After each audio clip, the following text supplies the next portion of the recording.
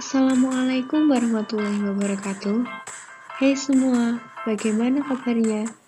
Semoga semuanya sehat selalu dan senantiasa dalam lindungan Allah Subhanahu wa taala, lancar rezekinya dan tetap semangat. Kali ini berjumpa lagi dengan kami yang akan memberikan informasi-informasi yang menarik dan tentunya untuk menambah wawasan kita semua agar bermanfaat di kemudian hari. Baik, di video kali ini kami akan membahas tentang pragmatisme, mulai dari makna pragmatisme itu sendiri secara umum, makna pragmatisme dalam pendidikan filsafat, dan juga tokoh-tokoh filsafat pendidikan pragmatisme. Anggota kelompok kami yaitu Novita Sari, Nur Fatika Sari, Nurul Musyarofa, dan juga Rizka Septia Nur A. Sebelum lanjut ke video pemaparan tentang pragmatisme, ada baiknya kalian like, subscribe, dan share terlebih dahulu. Jangan lupa juga nyalain lonceng notifikasinya supaya tidak ketinggalan video-video menarik dan penting lainnya.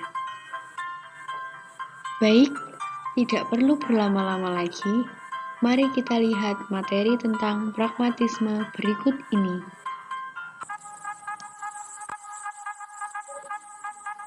Yang pertama, tentang makna pragmatisme. Pragmatisme berasal dari bahasa Yunani yaitu dari kata pragma dan isme, di mana pragma yang artinya perbuatan atau tindakan, dan isme yang berarti aliran.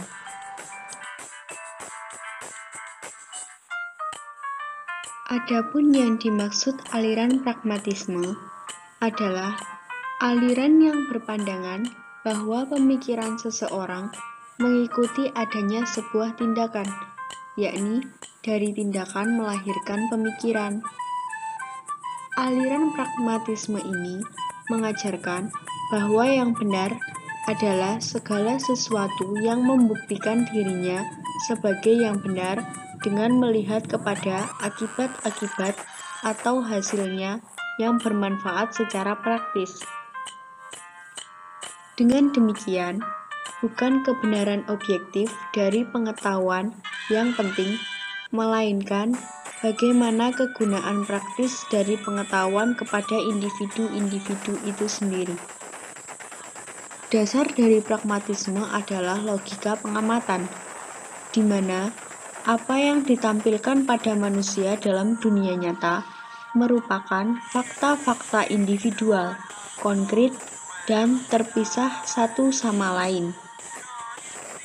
Dunia ditampilkan apa adanya dan perbedaan diterima begitu saja. Representasi realitas yang muncul di pikiran manusia selalu bersifat pribadi dan bukan merupakan fakta-fakta umum. Ide menjadi benar ketika memiliki fungsi pelayanan dan kegunaan. Dengan demikian, filsafat pragmatisme tidak mau direpotkan dengan pertanyaan-pertanyaan seputar kebenaran, terlebih yang bersifat metafisik, sebagaimana yang dilakukan oleh kebanyakan filsafat Barat dalam sejarah.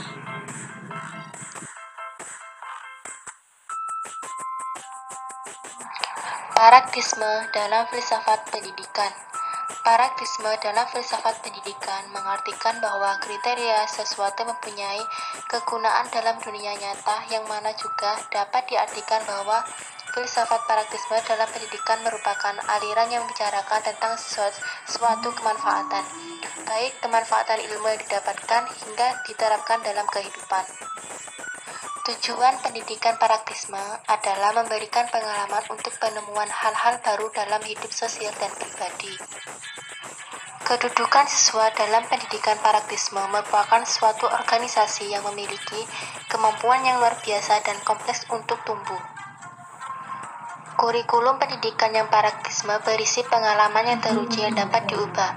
Demikian pula minat dan kebutuhan sesuai yang dibawa ke sekolah dapat menentukan kurikulum. Guru menyesuaikan bahan ajar sesuai dengan minat dan kebutuhan anak tersebut. Metode yang digunakan dalam pendidikan praktisme adalah metode aktif, yaitu belajar sambil bekerja, serta metode pemecahan masalah, serta metode penyelidikan dan penemuan. Peran guru dalam pendidikan praktisme adalah mengawasi dan membimbing pengalaman belajar siswa tanpa mengganggu minat dan kebutuhannya. Dalam pelaksanaannya, pendidikan praktisme mengarahkan agar subjek didik saat belajar di sekolah tak berada ketika ia berada di luar sekolah. Oleh karenanya, kehidupan di sekolah selalu disadari sebagai bagian dari pengalaman hidup, bukan bagian dari persiapan untuk menjalani hidup. Model pembelajaran praktisme adalah anak belajar di dalam kelas dengan cara berkelompok. Dengan berkelompok, anak akan merasa bersama-sama terlibat dalam masalah dan pemecahannya. Anak akan terlatih bertanggung jawab terhadap beban dan kewajiban masing-masing. Berikut ini adalah sedikit pemaparan tentang tokoh-tokoh filsafat pendidikan pragmatisme. Charles Sanders Peirce dia adalah seorang filsuf, ahli logika, matematikawan, dan ilmuwan Amerika yang kadang-kadang dikenal sebagai bapak pragmatisme.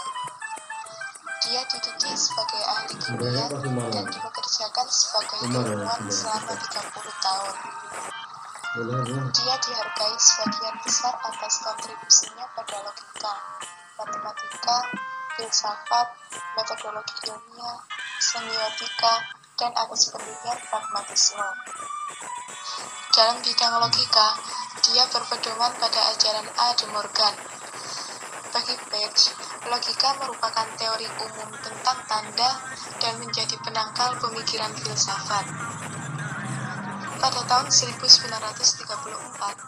filsuf Paul Weiss menyebut Page sebagai filsuf Amerika paling orisinal dan berwarna dan logikawan terbesar Amerika. Yang kedua adalah William James.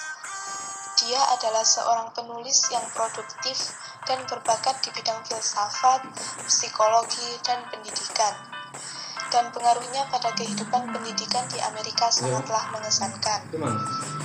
Karya terbesar dan paling berpengaruhnya adalah The Principles of Psychology yang diterbitkan tahun 1980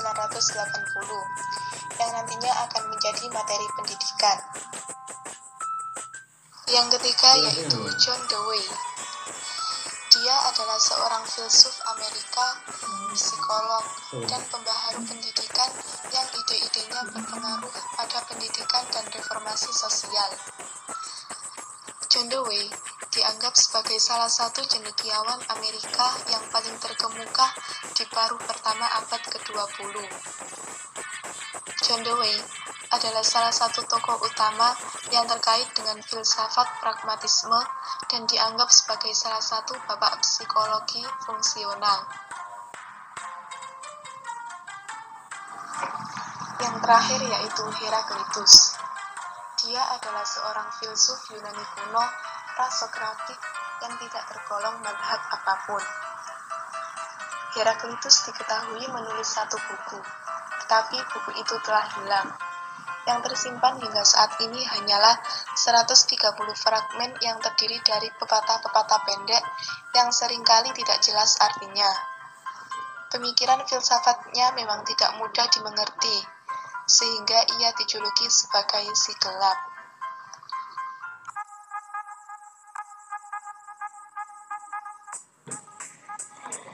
Selanjutnya, tokoh-tokoh filsafat pendidikan pragmatisme. Ada empat tokoh filsafat pendidikan pragmatisme. Yang pertama, Charles Sandre Peirce. Charles memberikan gagasan bahwa suatu hipotesis itu bisa dinyatakan kebenarannya sesuai dengan kemauan kita dan tujuan kita. Sebagaimana dalam sebuah buku yang berjudul Background of American Literary tahun 1974 yang isinya merumuskan tiga dasar pemikiran yang menjadi gagasan tambahan filsafat pragmatisme, yakni yang pertama, bahwa sesungguhnya suatu kebenaran ilmu pengetahuan tidak lebih dari kemurnian opini manusia. Yang kedua, yakni apa yang dianggap universal, yakni harus dapat menerima dan menyetujui hal-halnya. Dan yang ketiga, ialah gagasan bahwa filsafat dan matematika harus dirancang sepraktis mungkin, yang ditambah dengan kesimpulan dan problem-problem yang dapat dianggap nyata oleh komunitas.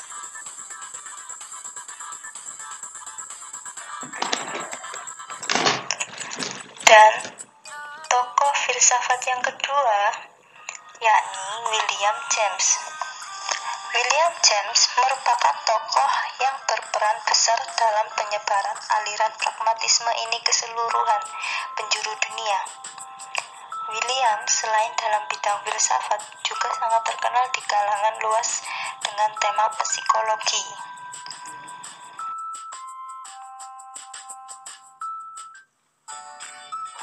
Yang ketiga, tokoh filsafat pendidikan pragmatisme John Dewey.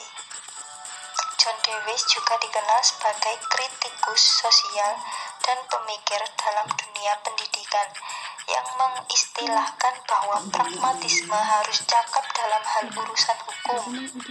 Menurut Dewey, filsafat bertujuan untuk memperbaiki kehidupan manusia serta lingkungannya. Dewey juga menekankan pengalaman dalam instrumentalisme sehingga filsafat harus disandingkan dengan pengalaman serta pemikiran yang aktif dan kritis. Menurut Dewey, tidak ada sesuatu yang tetap sebagaimana manusia juga senantiasa bergerak dan berubah.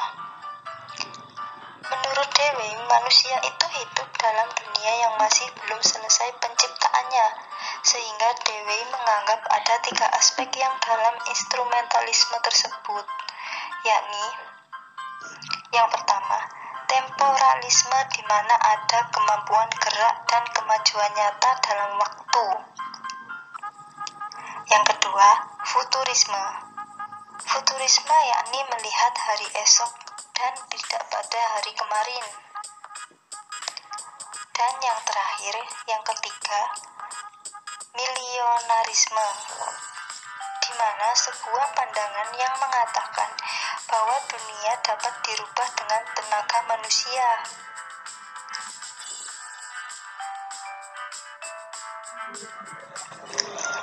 Yang keempat, tokoh filsafat pendidikan Herakleitos. Herakleitos pada tahun 550 sampai sampai 480 atau abad ke-6 dan 5. Tidak banyak sejarah yang menjelaskan tentang Herakleitos ini, akan tetapi beliau dikenal dengan nama Sigelap karena kata-katanya yang sulit untuk difahami. Herakleitos ini mengungkapkan filsafat dengan puisi-puisi sehingga kadang terjadi penafsiran yang salah arti dalam memahaminya serta fragmen fragmen karyanya yang tertulis secara estetis dan rumit.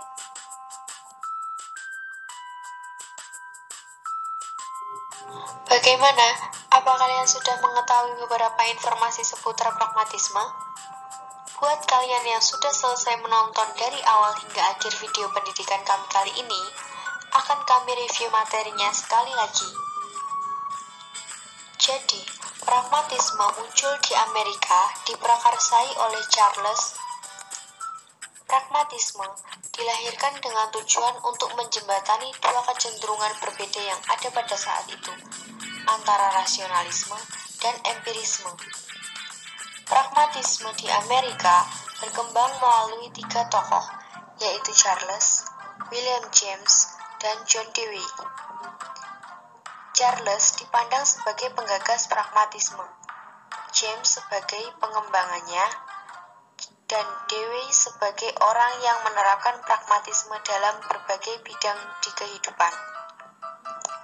Dewi menyebut pragmatisme dengan istilah instrumentalis, yaitu suatu usaha untuk menyusun suatu teori yang logis dan tepat dari konsep-konsep, pertimbangan-pertimbangan, penyimpulan-penyimpulan dalam bentuknya yang bermacam-macam itu dengan cara utama menyelidiki bagaimana pikiran itu berfungsi dalam penemuan-penemuan yang berdasarkan pengalaman yang berdasarkan konsekuensi-konsekuensi di masa depan. Dewe secara realistis mengkritik praktek pendidikan yang hanya menekankan pentingnya peranan guru dan mengesampingkan para siswa dalam sistem pendidikan. Tak lepas dari kritikannya, juga yakni sistem kurikulum yang hanya ditentukan dari atas tanpa memperhatikan masukan-masukan dari bawah.